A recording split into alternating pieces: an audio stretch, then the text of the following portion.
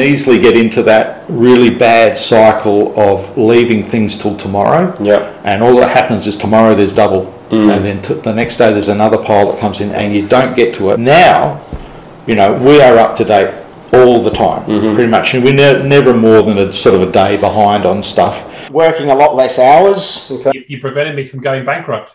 Great value for money. I would not go back to doing my own admin. What difference has it made to your business? I've got a lot more of a work-life balance.